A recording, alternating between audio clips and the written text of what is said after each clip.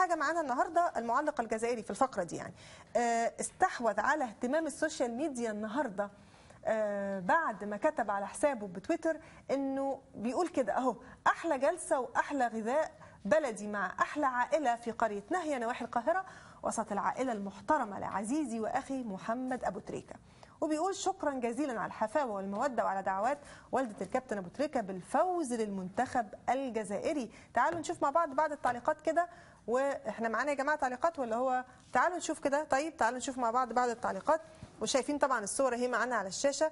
محمد أبو تريكة بقى بيرد طبعا الكابتن ملك القلوب بيقول نتشرف بك يا كابتن حفيظ ونورت بيت الحاج محمد أبو تريكة. الله يرح... الله يرحمه. دايما الحاجة الوالدة والعائلة في الموعد. طبعا يعني ده بقى يا جماعة دي العلاقة الطبيعية على فكرة بين الشرفاء يعني.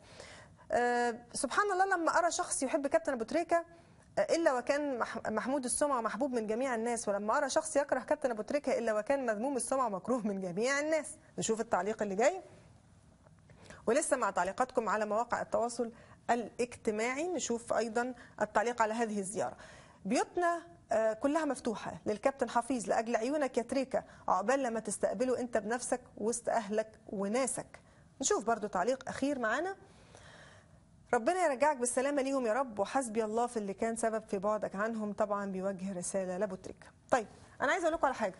أنا كان معايا ضيف في الاستوديو من يعني الحلقة الأخيرة يوم الجمعة اللي فات تقريبا وهو من الجزائر يعني تشرفت بوجوده معايا وكنا بنتكلم على أحداث آخر الأحداث في الجزائر. وقال لي كان وقتها لسه الجزائر صعد يعني للدور الرابع آه، كان لسه في الربع النهائي صعدوا بقى للنهائي. فأنا كنت يوميها ببارك له بقول له مبروك لمنتخب الجزائر فقال إن شاء الله وإن شاء الله نتمنى قال عندما يفوز منتخب الجزائر إن شاء الله ويأخذ الكأس سنهدي هذا الكأس لروح الرئيس الشهيد الدكتور محمد مرسي.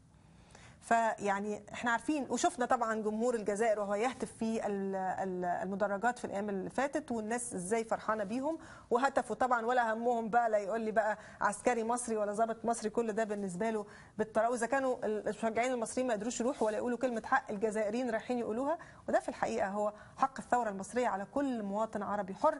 النهارده هو الجزائر بيتحرك ك يعني صدى بعد حراك مصر وتونس. النهارده البلاد الحرة أيضا تتحرر لنيل مطالبها. ومنهم الشعب الجزائري.